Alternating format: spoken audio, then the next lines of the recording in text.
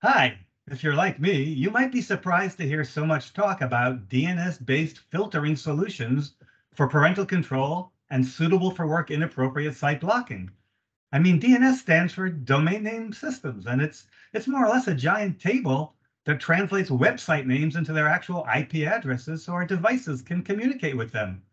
What does this have to do with protecting kids or employees from accessing inappropriate or dangerous content? And what's the impact of DNS over HTTPS? And what does this mean for you as a communication service provider? And most importantly, how good is this solution compared to other network-based multi-layer solutions? When are these different kinds of solutions appropriate? So to ask these questions and get authoritative answers and share them with you, I've invited Eduardo Holgado, Allot's Director of Product Management for Network Cybersecurity Solutions, to join me in an instructive webinar to get to the heart of these questions. I'm sure you won't want to miss it, and I look forward to seeing you there. And if you can't make it live, sign up and we'll send you a recording anyway.